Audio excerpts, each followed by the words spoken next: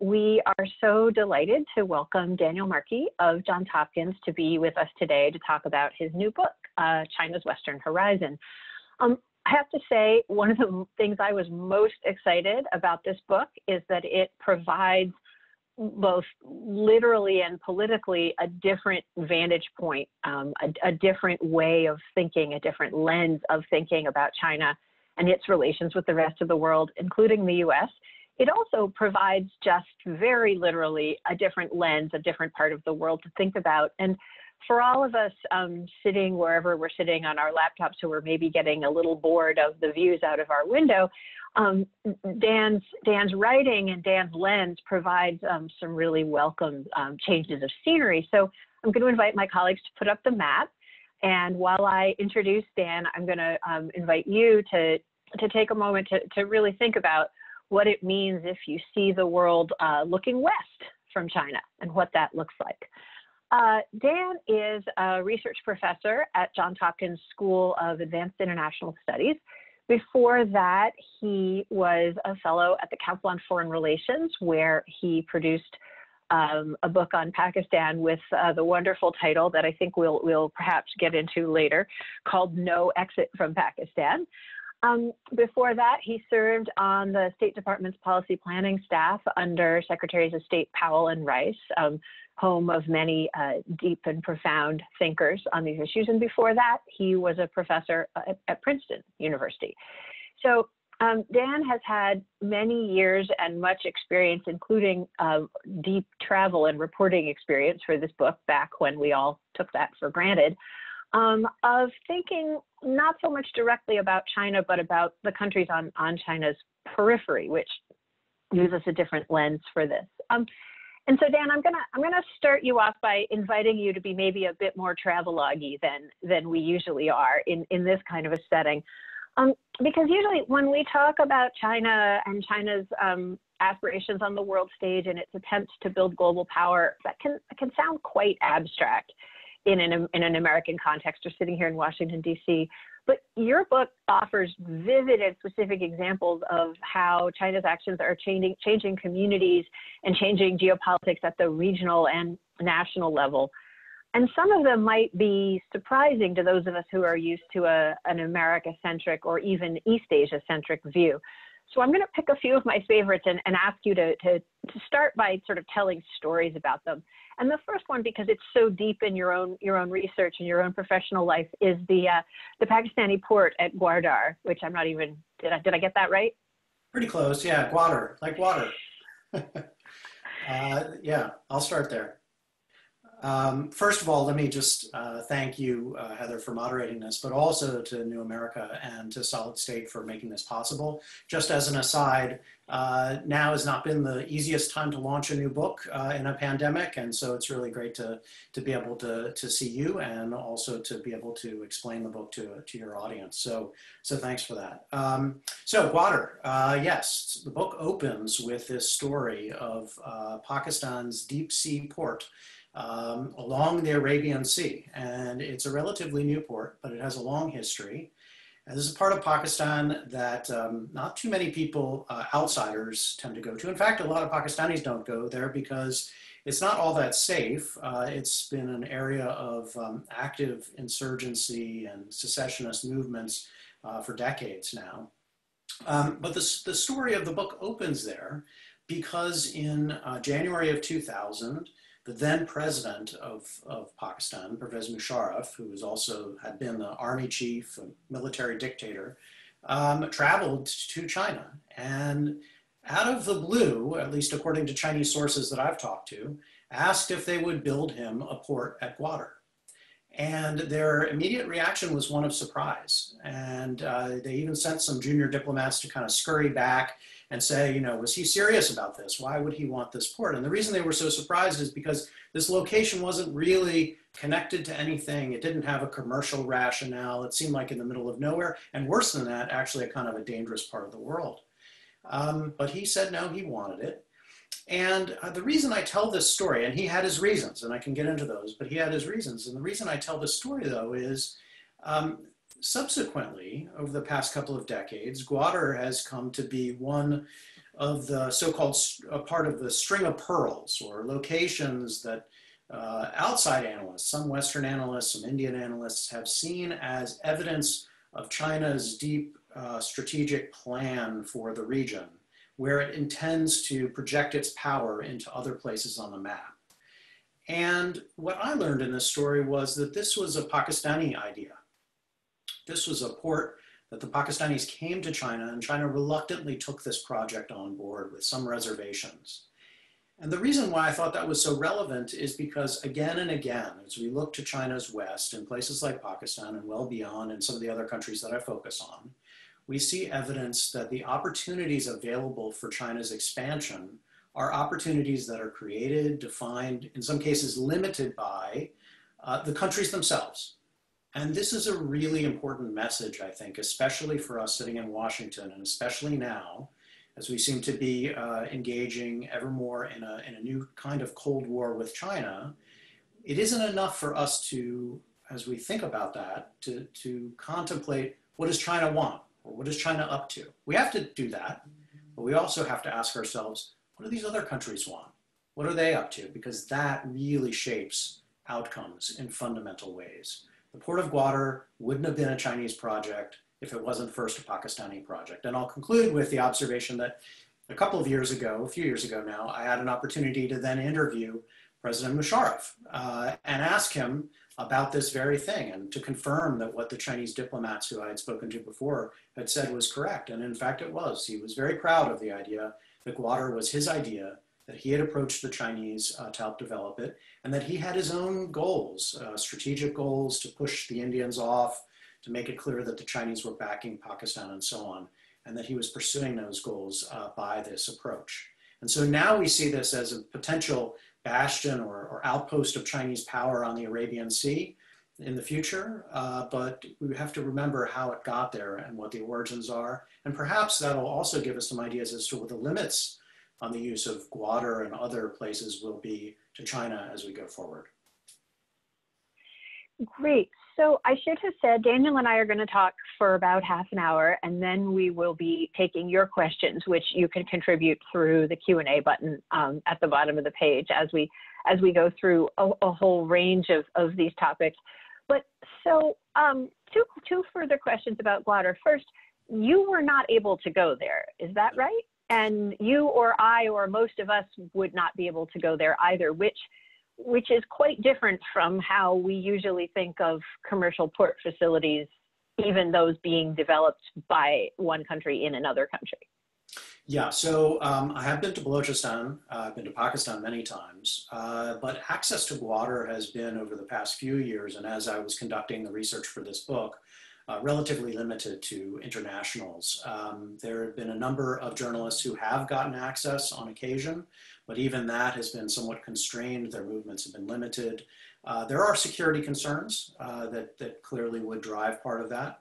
And I think part of it is that the stories that come out from the port haven't always played to the advantage of the Pakistani government or of the Chinese government in ways that make them uncomfortable. So uh, some of the reports suggest, for instance, the severe limits that the port construction has imposed on local populations the frustrations of um, the Baloch people who live nearby, including fishermen uh, and their villages uh, that no longer have access to traditional uh, areas where they, they would go fishing, uh, and the limitations on access to, to good drinking water and so on, and the political frustration that that engenders. That tends to be the focus of a lot of the stories that they get when they allow outsiders, Westerners mainly, to go there and report. And so they've been inclined, I think, not to let too many Westerners go back. Uh, and that's, that's the way it's been over the past few years. Which brings up another point that you make repeatedly in the book that although it might look to us now that the location was chosen by China for its, its maritime security and naval purposes, that in fact, Musharraf had much more domestic political purposes in mind. I mean, why would you try to stick a major port facility in the midst of a of a, a restive and generally unfriendly province? Well, it's still not clear that that is a good idea or that ever was a good idea. But um, Musharraf did have a kind of a twofold uh, game plan, or at least he claims that. Uh, on the one hand, really was actually a more of a, a broader regional strategic initiative. That is, if you could open a Chinese-backed port, uh, another one on the Arabian Sea that would be another port for uh, Pakistan as well, in the event of a naval conflict with India, uh, shutting down Karachi wouldn't be sufficient. Uh, Pakistan would have multiple options. Pakistan could also use the port of Gwadar, uh, which, as you probably saw from the map, is closer to the Persian Gulf, would be able to uh, threaten Indian shipping uh, going in and out of the Gulf. So, um, so these were kind of broader strategic aims that a military man like Musharraf would think about, but they also came at least cloaked in a sense of the potential for domestic economic development, uh, that this would be a place that an engine of growth for the regional economy. Uh, this would provide opportunities for locals and for other Pakistanis.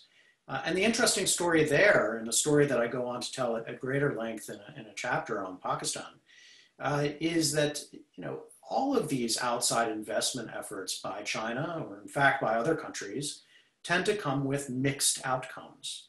And often there are winners uh, in Pakistan, people who stand to gain from these, but there are also losers. And in an already fairly conflicted country uh, with deep political cleavages, ethnic cleavages, socioeconomic cleavages like Pakistan, uh, creating additional areas of competition domestically has as much chance of creating greater instability as it does of improving economic outcomes and creating greater stability, which is claimed to be the goal of both Musharraf and now increasingly of China itself. Um, because of course, as the story, if we update this story, it didn't end there with Gwadar. We've now got the China-Pakistan economic corridor, uh, tens of billions of dollars promised, at least about 20 billion actually delivered of Chinese outside investment in Pakistan. So we're seeing um, greater Chinese involvement in all of these areas but not necessarily uh, a stabilizing outcome uh, coming of all of this. You make that point both with respect to the situation within Pakistan and the other countries you highlight, but you also make it with respect, respect to regional power relations. And you say that there was maybe this hope that China could or China would find itself forced to take on the role of regional peacemaker and that somehow in this part of the world that China would help help diffuse conflict between India and Pakistan. And both here and in the other uh, regions you look at, you you come away instead with the with the conclusion that you think in the long run that Chinese activities are actually going to um, make regional instability worse rather than better. Say a little bit about that with respect to the India-Pakistan conflict, and then I'm going to pivot you to Kazakhstan.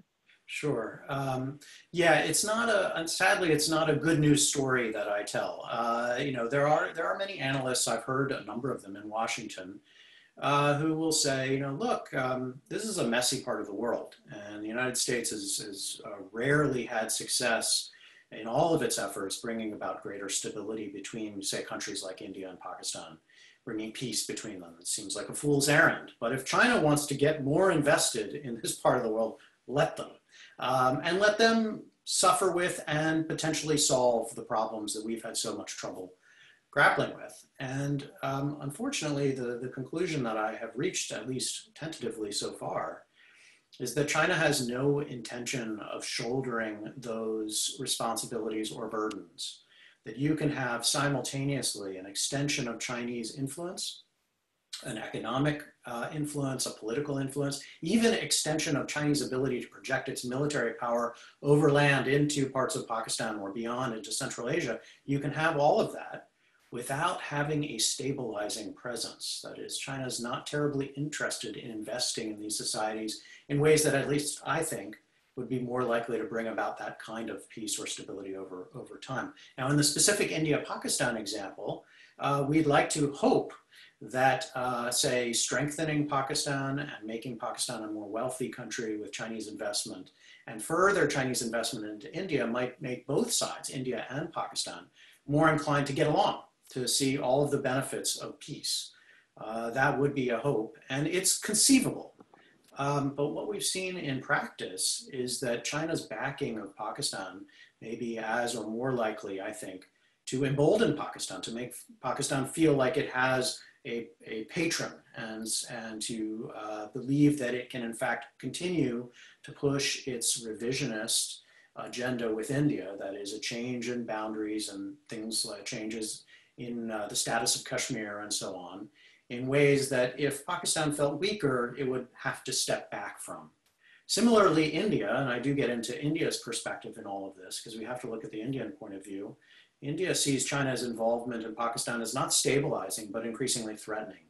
Uh, threatening both because it does encourage Pakistan's, from Indians' perspective, bad behavior, and also because it suggests that China uh, will be a major player in India's neighborhood, uh, which is something that uh, New Delhi has been deeply concerned about, would like to see less of, not more of. And so it's inclining India to be more wary and to arm itself and prepare itself and possibly uh, to contemplate and even participate in more kind of violent exchanges with Pakistan just to convince China uh, that this is not a good idea, that its involvement there is not a good idea. So this doesn't add up, uh, as I say, in a stabilizing way, it actually adds up in a worrisome way. So this makes me want to jump ahead a bit to the, the US strategy part of the conversation because there has been considerable thought in Washington circles in recent years that Washington should should move more and more, um, and this is a, a, bipartisan idea, to see India as a key ally in in in that both countries are democracies, albeit both countries are somewhat challenged democracies at the moment, but that the countries are somehow natural allies to help um, blunt or contain um, Beijing in a commercial sense, um, in a sort of spreading of, of autocratic technology sense, but also in a straight up military sense. You, you seem to make the argument that in fact, that's going to be more complicating and tension accelerating than it is straightforwardly beneficial. But I'd, I'd love to hear you make your case. Sure. Yeah. Um, look, I think uh, you're right. Uh, one of the consistent features, not just of certainly not just of the Trump administration, but of the Obama administration before it, and the Bush administration before that, and even going back to Clinton, was a recognition yep. of the potential of India's strategic promise as a as a counterbalance or a counterweight.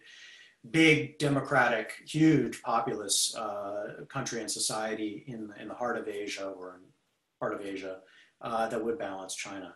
Um, and I generally support that. I mean, I think that India has huge potential and that, that uh, we have every reason to want to explore that. The caveat there, uh, the, the question mark, is has to do with the specific ways in which we engage with India. And if by our engagement with India and China's engagement with Pakistan, we end up in a kind of a two block South Asia scenario where India and Pakistan are arming themselves to the, to the teeth uh, to engage in an arms race with one another, and that we're egging them on. And that US resources, rather than uh, broadening the base of Indian power and creating, a, a, as I say, a, a counterweight to China, both politically and economically, as well as security wise, if we're principally invested in the security side, and India is principally seeing those investments tools, weapons, military platforms, defense platforms, and so on, as a means to deal with Pakistan, then what we're doing is we're just feeding into a kind of, a, I think, a wasteful, dangerous, potentially very dangerous uh, arms race dynamic in a region where we've seen this game before. Uh, this was, in a sense, in reverse, the game that we played during the Cold War, with us more or less on Pakistan's side and the Soviet Union frequently more or less on India's side. And what we learned from that, or what we think we learned from that, is it didn't work to anyone's particular advantage. Uh, it didn't work to the superpowers' advantage. A lot of wasted resources. And in the region, it fueled a conflict that might not have gone away, but might also not have been quite so violent um, and, and bloody uh, as it was had it not been for superpower support. So that's the kind of thing that I worry about. Well, speaking of um, aftermath of the Cold War, that seems like a good moment to shift us up to, to Central Asia. And I'm going to um, invite my New America colleagues to pop the Mac back up for one second. um, because one of the really fun nuggets of history um, about this, about your book, was uh, the idea that um, for a significant portion of um, history, there were major civilizations that located the center of the world in Central Asia. Um, and much as for, for much of Anglo-American history, we maybe thought of the center of the world as being London or Greenwich or in the Cold War, Washington. Um, but there is um, this history and these um, residual cultural, diplomatic, economic links that go that go back to this time, which was fascinating and fun to, to read about. And so maybe point to why it shouldn't be um, as surprising as it as it may be to many Americans to to see um, the enormously large and wealthy country of Kazakhstan as um, as a, as balancing um, in some very astute and interesting ways between Russia and China, and and really you you depict um, an autocratic ruler that at least as long as he's able to, the last of the post-Soviet rulers in the region, who at least as long as he's able to stay in power, seems to be able to, to pick and choose. And um, the, the, the, the aphorism that you quote is that uh, Russia is the gun and China is the purse um, which is, you know, you, you could be in, you could find yourself in worse situations than a number of Kazakhstan's neighbors have. So um, the you uh, you describe very vividly in the book the what um, the Kazakh China border economic zone looks like, and and maybe you could start from that as a as a way of, of talking about what the Kazakh case looks like, and and we can put away the map now. Thank you. Sure. Yeah, and thanks. Uh, there, there's a lot to a lot to play with there, and um, you know, the for me, the history also learning better uh, the history of um, of continental Eurasia uh, and the interconnections between parts of the world that uh, that I, at least, and I think many Americans tend to see as fundamentally distinct. Um, uh, for instance, uh, South Asia is not the same thing as Central Asia, and Central Asia is, in our mind, I think, often considered very far from East Asia or China. But yet, uh, these places do have a, a kind of a, a gray uh, quality where one intertwines with the next. And historically, they've been bound together uh, at times. Uh, now we're talking about uh, during the Silk Road period, so it's it's been hundreds of years. Uh, but at times they were culturally intertwined uh, through the communication of major religions, uh, Buddhism, Islam, and so on, and um, economically intertwined with critical resources, including war horses, uh, being routinely imported from China, uh, sorry, from Central Asia to China, right? China was, was uh, really relied on these types of things, not to mention the actual silk of the Silk Road or the Silk Route. Um, so this is an area of um, cultural interconnection. Uh, and uh, in particular, we see this now in the context of um, the nature of the, the identity, the ethnic and religious identity of Uyghurs uh, inside of China. But you asked about the specific question of the, the border area between Kazakhstan and China, where I had an opportunity to visit. And I've read a number of, of travel logs of this. I'm not the first, or certainly won't be the last uh, you know, Washington-based uh, person to go up to Khorgos uh, and to actually see the trade and economic zone that's being built and the dry port um, that's being built right on the Kazakhstan-China border. But it was still fascinating and um, a little bit sleepy uh, at the time when I went to visit. Um, it happened to be a holiday, but um, what you could see was the, the early stages of, in terms of the dry port, of a of an opportunity for uh, Chinese goods to be um, kind of reloaded onto trains and then transshipped uh, across the continent uh, and into and onto uh, Western Europe as an alternative to maritime shipping. And in the economic zone, what you could see was the birth, potentially, of uh, what looked like a binational new city, uh, Kazakhstan China city, of potentially in the future hundreds of thousands to millions of people, um, where you could have uh, commercial interchange between the two.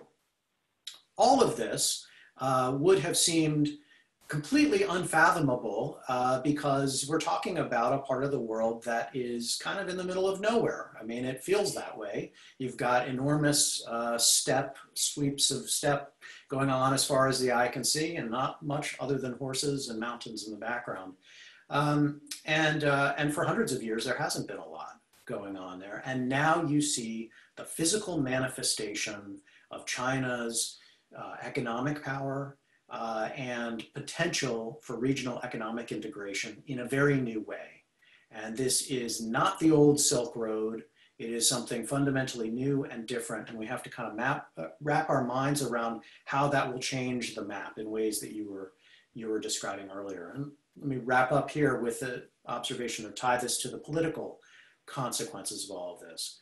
Uh, Kazakhstan is an unusual country an autocratic uh, regime, basically still run, although titular responsibility has been handed off now, but basically still run by the same man, Nazarbayev, who's been in power since the end of the Soviet Union, um, and came out of that system. So he's deeply familiar with that. And is, I think, perhaps uniquely qualified to balance the competing agendas of Moscow and Beijing uh, as they go forward, and of course the interests of Kazakhstan itself and to try to uh, weave his way between two major powers, one on either, on either, two giants on either side. Kazakhstan itself uh, is relatively weak, although wealthy from, from energy, or relatively wealthy, uh, doesn't have the wherewithal to withstand either side, and so has to play them against one another. One of the core questions I ask in the book is what happens after Nazarbayev? How does that balance potentially shift? Possibly dramatically, and potentially in ways that would really favor Chinese influence over what has traditionally, at least now for hundreds of years, been a sphere of Russian influence and of direct Russian control, uh, of course, during the Soviet period. Um, and what would that mean? What would that mean for the balance in the relationship between China and Russia? Would Russia be willing to accept that? I have deep concerns uh, about how the tensions or the, the underlying potential tensions between Russia and China could be exacerbated by that extension of Chinese influence in through Central Asia. This doesn't happen overnight, and it hasn't happened overnight. Uh, this is something gradual, but it could happen stepwise with China um, sort of dramatically enhancing its, uh, its role in the region at various points. And I think we saw one of those at the last financial crisis. And I think we could be poised to see another one of those now uh, with the aftermath of the, of the pandemic of COVID-19 uh, and the economic consequences of that, which China seems to be likely to weather uh, better than Russia and may put China again into, the, into a pole position uh, to extend its influence. Uh, first through economic means and then potentially through political and even security means after that. Before um, before we get to the the COVID part of the conversation, mm-hmm. um, I do want to ask you about the Uyghurs, because um, as you write, um, the Uyghur the borders in this region, like many regions, are somewhat artificial, um, and Uyghur presence and influence in Kazakhstan is maybe stronger than many Westerners understand. On the other hand, as China's mistreatment of the Uyghurs becomes better and better known, that doesn't seem to be having any impact on its engagement either in Central Asian societies or in Muslim societies, which make up the majority of the ones you talk about in the book. So what does what what in Kazakhstan in particular and more broadly are is China's treatment of the Uyghurs going to matter? Well, I think that it will matter, but it's not a, a direct uh, consequence. In other words, um, you know, I think it's a little bit more complicated than simply uh, Muslims around the world will be upset about the way that China has treated Muslims in China, including Uyghurs. I mean, worst of all Uyghurs, but also other Muslims in China. Uh, and will respond violently and negatively uh, to China across the board. That's clearly not the case. And I see that in all the, I mean, all the countries that I really focus on, whether it's Pakistan, Kazakhstan, Iran, Saudi Arabia, all of them uh, including their clerical establishments, but also their political leaders, have more or less looked the other way uh, or have um, kind of tried to just deflect attention from China's treatment of Muslims inside of China. And the reasons are, I think, fairly obvious. Uh, they have economic interests and in some cases also political interests riding on their relationship with China, and they can't sacrifice that uh, by criticizing China openly, and so they won't do so. However, uh, Kazakhstanis, um, ethnic Kazakhs, uh, many, I think, Iranians, uh, many Pakistanis are still, I think, going to be and increasingly are aware of what China is doing. And this makes them deeply upset. In the case of Kazakhstan, this can be very personal. This can be family members who have been swept up uh, in these Chinese camps, um, either by accident or on purpose, being in the wrong place inside of China, meeting with family and so on. Um, and in other places, it's more of a, of a kind of a solidarity of, of religion, of common faith. This will make publics uh, deeply unhappy, um, will get them to see China as problematic. And although their countries tend to have fairly good control over the flow of information, I think over time will uh, create new divides between the people, in a sense, and their leaders. Again, between the losers in a closer relationship with China and the winners.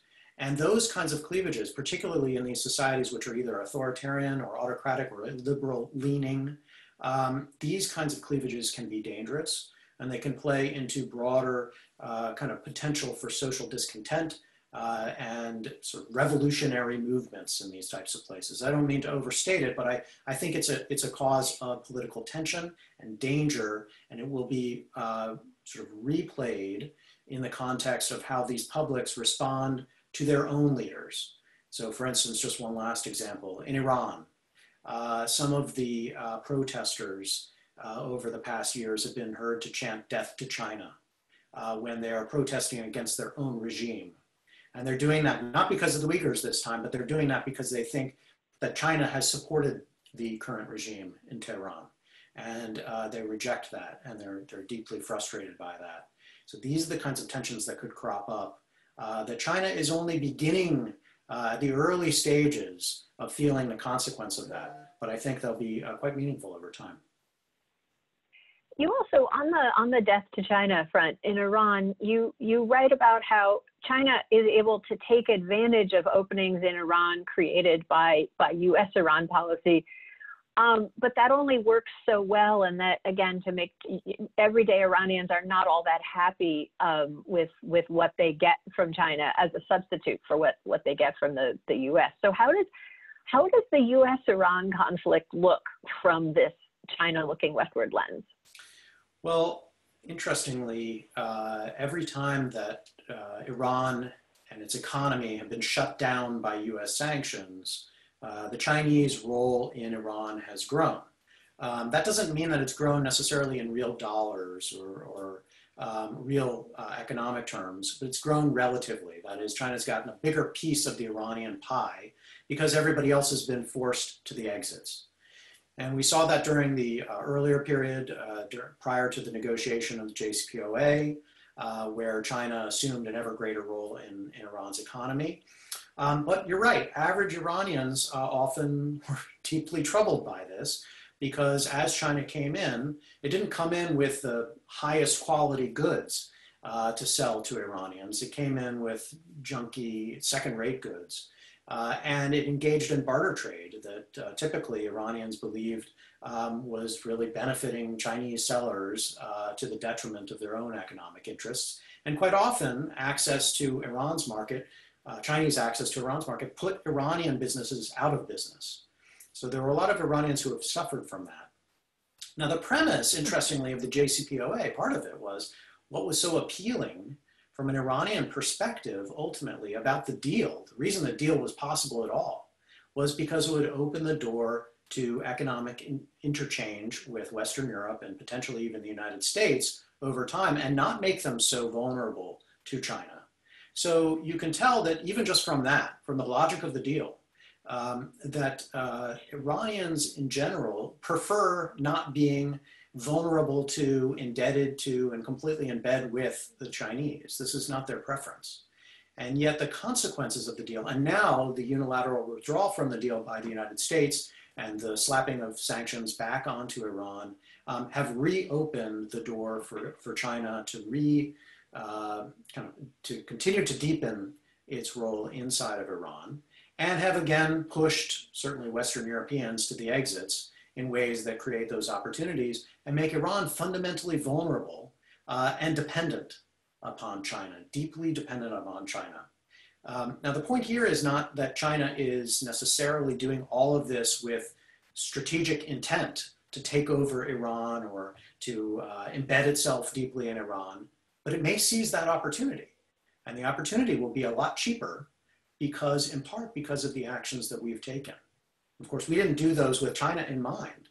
But as we move forward and we think about countries like Iran, our relationship with countries like Iran, we also have to be thinking about what the implications of our decisions on Iran policy will mean for our competition with China. And so we need to, to have the complexity, uh, build in that additional complexity in ways that you know, decades ago we didn't have to do.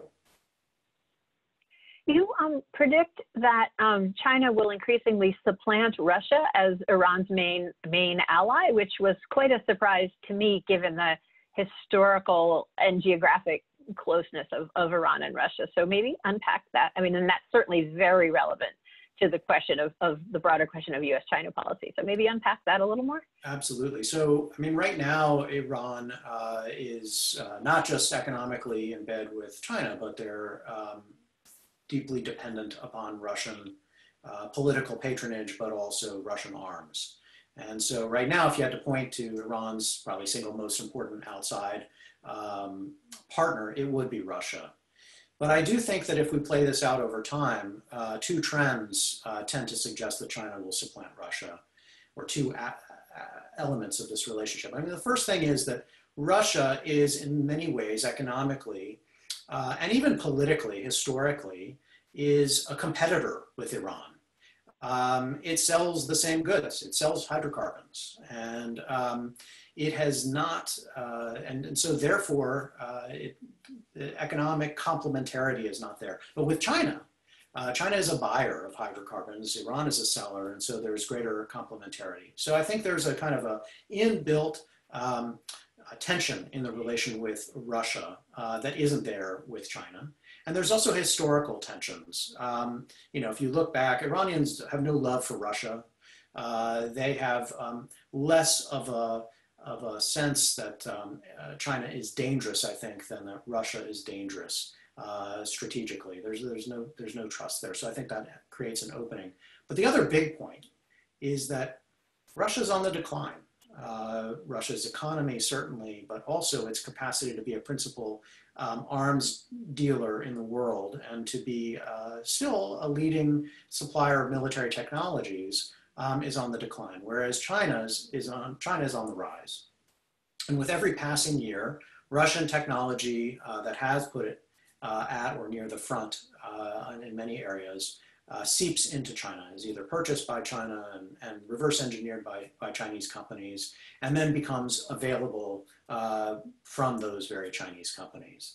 And so if we just look into the future as others have, we see that China is poised uh, to steal Russia's mantle in all of these areas. And then you can imagine Iran turning to China rather than Russia uh, as its principal uh, supplier, outside supplier of military technology. So we have um, an audience question about how Iran's nuclear weapons program and the choices that it will have to make around its nuclear weapons program in the coming months, how that affects the Iran-China relationship. Well, um, I think that at the moment, a lot more in terms of Iran's choices on its nuclear program have mainly to do with uh, waiting out the United States uh, to our next election. Um, that is seems to be what Tehran's principal strategic logic is. They will wait and see who wins, and then they will decide how to play the game from there. Um, China, too, has also, interestingly, played a bit more of a waiting game uh, on all of this than I would have expected. And I think a number of other analysts thought so too. Um, you know, if, if asked um, how China would have managed the past few years, I really would have assumed that they would be somewhat more aggressive in extending their influence in Iran as the United States um, kind of basically cut off other options. Instead, China has, has been uh, more reticent. And the principal reticence comes from Beijing's recognition that actually, in real terms, uh, it has much more to lose by upsetting Washington than it has to gain by uh, increasing its, uh, its opportunities, its investments, um, and its purchasing from Iran. So it's been balancing, uh, Beijing has been balancing concerns about upsetting Washington with opportunities of Iran. And so far, in many instances, that has led it to actually scale back its involvement in Iran rather than extend it. Um, if I can imagine a situation where uh, in the future, if US China relations deteriorate further, Beijing may make a different calculation that its relationship with the United States has deteriorated to the point that it can, um, without paying significant greater costs, it can extend its influence in Iran and it can be more supportive uh, of Iran. Um, and that would be even more likely if the United States and Iran um, also, at the same time, don't return to any kind of negotiated settlement. And the prospect of getting back to some version of a JCPOA, which would bring back the Europeans uh, into Iran, seems to have disappeared. Then China will be the only game in town for Iran, and China will see less downside risk or harm from enhancing its hand uh, with Iran This starts to move us into the question of what U.S. strategy should be given these observations, which we, we have a number of questions about. Um, and I want to start um, with an observation that you make in the book, where you say the region along China's western horizon should not be America's first priority. And I think I just heard you say, at least with respect to Iran, that this region is not China's first priority either. So does that um, does that open up chances that um, th this policy in this part of the world can unfold in ways that are different from how the U.S.-China challenge unfolds in East Asia in particular, or is everything inevitably going to be drawn into sort of one one vat of U.S.-China competition, whatever that looks like? well, I think it's really important uh, that we not uh, begin Cold War like to see all of the world purely through the lens of US China competition. That has to be a part of how we see things. We have to ask that question. I think that will come increasingly naturally to US policymakers to con contemplate or consider how this plays into the global competition with China. And yet, in many instances, it won't be the, the first or most important calculation. So if we go back as a good example, I think, is, is the India-Pakistan relationship. I still think that a war between India and Pakistan is much more dangerous uh, than seeing China extend its influence uh, into Pakistan. And so as we look at that part of the world, I think we still have to ask ourselves, you know, might there be opportunities to work with China uh, to avert uh, the downside risks of an India-Pakistan war or to manage that conflict if it goes back into a crisis? So we have to be kind of nimble enough to see the individual consequences of, of regional issues for what they are. And then also to flip it upside down and say, okay, but then how does that play in the short, medium, and long term into the global competition between the United States and China? We have to be able to do both of those things.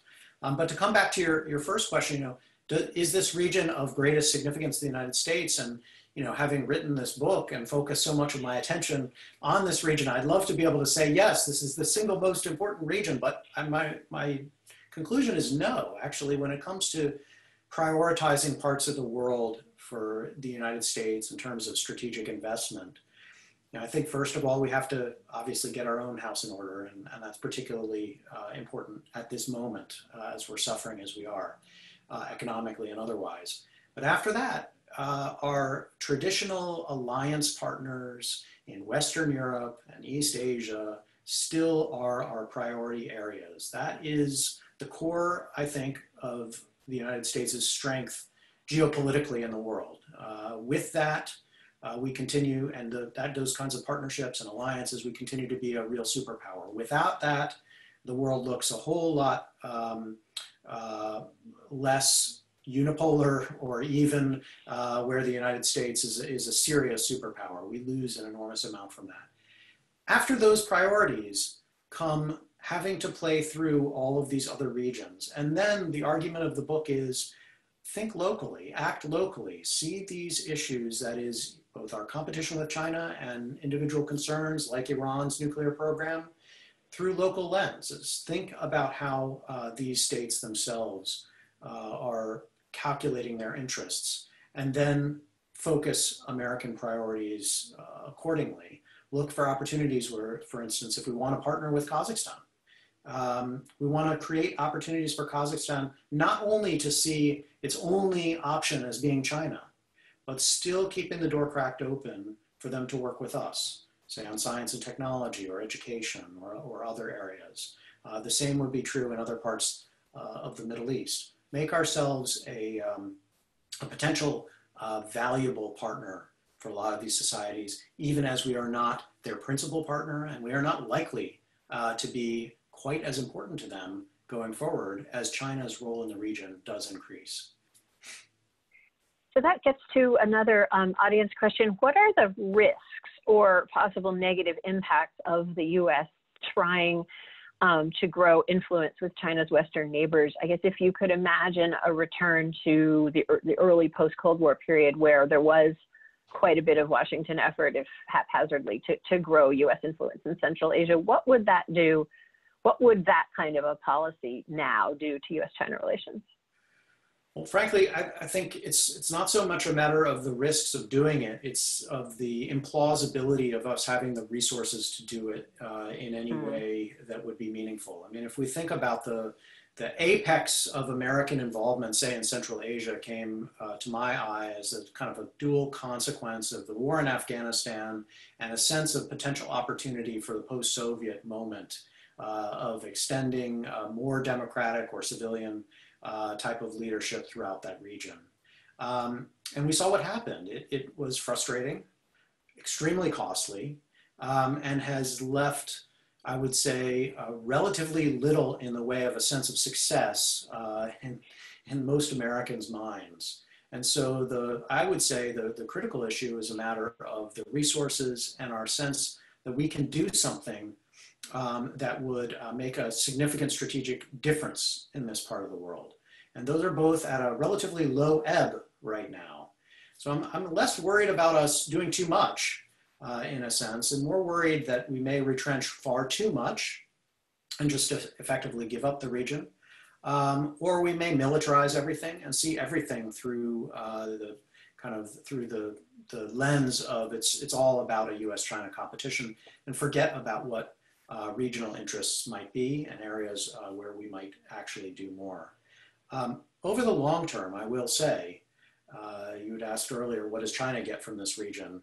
Um, if we play this out over, again, this is now a longer term story, uh, this is the means, that is continental Eurasia is the means by which I think China can build itself into a more continental scaled superpower uh, with resources, with capacity to project uh, its military, and with political influence throughout a much wider zone of the earth um, than it currently enjoys. And that changes, I think, the, the basic calculation of the US-China competition globally as we go forward in ways that are, are, critically important. And so this part of the world, it isn't our priority. It, it is, as I said, we have other priorities, but it will be critically important. And I think we need to recognize that uh, for what it might offer uh, over time.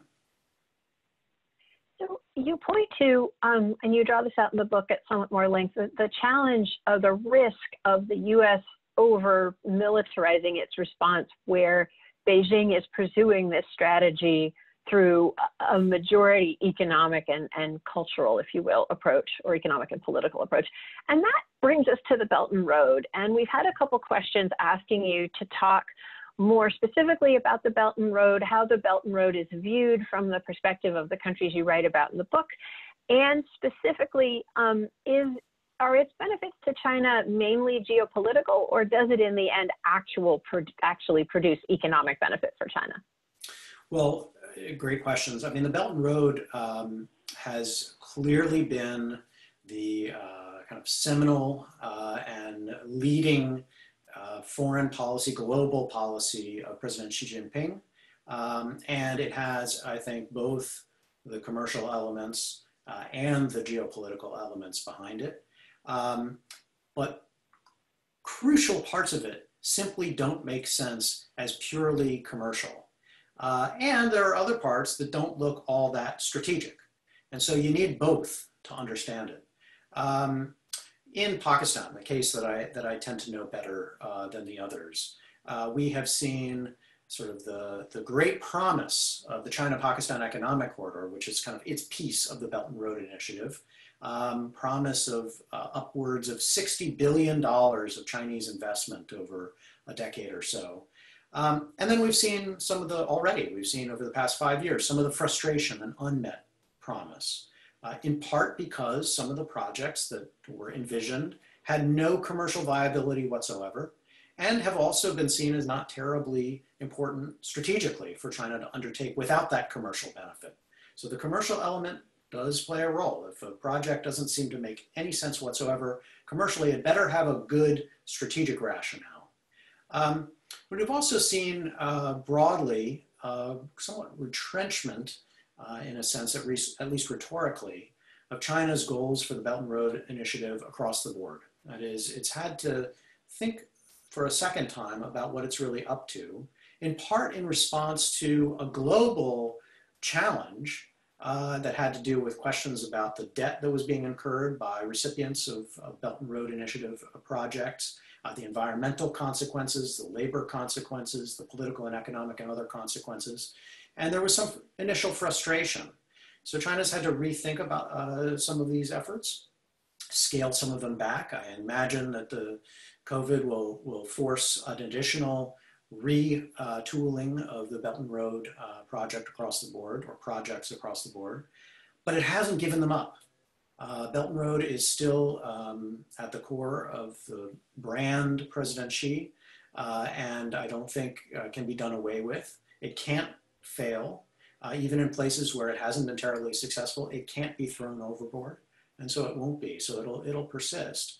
Um, and it will continue to have this twofold element of commercial, uh, commercially viable exercises that will over time knit up the region, regional economic integration, and more strategic and even military oriented efforts uh, that are purely in Beijing's interest, um, but which the opportunities and openings have been created by local realities. Thank you for brilliantly answering the next question I was going to ask, which is, is there a strategic and military dimension to this? So thank you for anticipating the question. Um, and we're coming up on the last five minutes, so we will be able to squeeze in one or maybe two more questions, although given what the next question is, it may end up being the last one. Um, reminder to the audience that um, if, um, like me, this conversation has suggested to you that this book might reorient your view of this part of the world in interesting ways, you can go to the New America event page where you will find a link to purchase the book. Um, and of course, Dan, you knew you weren't going to get through an hour long conversation without being asked whether we are in a Cold War with China. And uh, so, so are we in a Cold War with China? How much of that Cold War framing, the questioner wants to know, is due to the current administration? And would you describe there being a consensus among foreign policy experts? Yes, we, uh, right. We're, I think the way I like to frame it, and I'm just stealing from others here, is we're in a new type of Cold War uh, with China, yes. Um, and, and, no, I don't think that it's uh, been purely the consequence of decisions made in Washington, not, not remotely. Um, it is the consequence of the interchange between um, US perspectives and frustrations with China and a, a kind of a waking up to the reality of China's power and influence globally, combined with uh, an increasingly um, uh, internationally oriented and aggressive uh, Chinese leadership uh, under President Xi Jinping. And the combination of the two um, has been already uh, a big shift and uh, but it's consolidated a shift that was underway i think uh, for in some ways for decades. That is china's power didn't rise out of nowhere. Its wealth didn't come from nowhere and it shouldn't have taken anybody by surprise. Nor should china's ability to translate as all countries i think throughout history have tended to do to translate great wealth into political influence and also military power. Um, that's not surprising uh, but the shift that I think has caught all of our imaginations um, and certainly our attention in Washington, D.C., this shift has been exacerbated by the kinds of rhetoric, angry rhetoric, that are being thrown around by both sides right now. And that is unusual. And certainly, I think that the Trump administration's um, approach here is not what we would have seen in some other uh, administration, just in terms of the its its use of words, its Twitter wars, and so on. But neither is the Chinese approach something that we've seen from China before. We now hear about so-called wolf warrior diplomats uh, who use all kinds of angry language to describe American officials and Americans more generally, uh, totally undiplomatic in ways that, um, you know, I guess we saw some of that back when in the Maoist era of, uh, you know, the Chinese, early Chinese revolutionary era. But China had become a more staid uh, diplomatic player uh, over decades. And now to see this come out and a playing to Chinese nationalism at home and a kind of a, um, a stiff arm to public opinion uh, overseas is new on the Chinese side. And so that kind of tension, I think, may be kind of momentary, and we may be seeing the apex of that. Hopefully, if we're luck lucky, we'll see that kind of resolve. But the broader strategic competition, I'm afraid, is here to stay, and we just need to figure out how we're going to grapple with it. Um, and that'll be up to, of course, uh, whoever's in office in, in January to, to figure that out. I just have to say to the questioner that I was recently on a Zoom call with about a dozen academics representing a variety of intellectual and ideological tendencies who pretty as as much as you can get into a screaming fight on Zoom, who got into a screaming fight about this question. So no, there is no consensus on this subject in Washington, D.C. Um, Dan, just to wrap us up really quickly, um, if you were writing this book in the time of COVID, what else would you what else would you have to say? Well, I think that most of what uh, I depict in the book uh, is likely to be accelerated by, by COVID. Um, that is the outsized potential for Chinese wealth and economic resources to sway its regional neighbors one way or another, particularly its neighbors, as I say, to its west, has probably been exacerbated by this moment. And not just by COVID, the, the public health uh, crisis, but really the economic crisis um, and beyond that, it's particularly devastating effects for countries that are dependent upon energy exports as their principal um, uh, economic support. And a lot of those uh, are to China's west. These countries are going to be feeling deep, deep pain. And China may be uh, the best placed country in the world uh, to make up uh, for their, uh, their losses in a way that would permit their leaders to salvage themselves might hurt their people, but to salvage their own positions um, and to continue, keep the game going at home. And so that would extend China's influence. Um, otherwise, I think that COVID has also uh, hurt the United States so far uh, very deeply. And America's global leadership, uh, I think, if anything, has just taken a, a major uh, hit. And that is worrisome because as we think about our ability to, to appear to be a useful, valuable, beneficial partner to any of these countries in China's Western horizon or elsewhere, um, they have to see us in those terms. We have to present some positive uh, vision of leadership, of resources, of knowing what we're doing. And at the moment, I'm afraid even on all those scores, we're far more diminished uh, than even we were before uh, COVID-19. Someday New America will give me a happy book to do a book event about.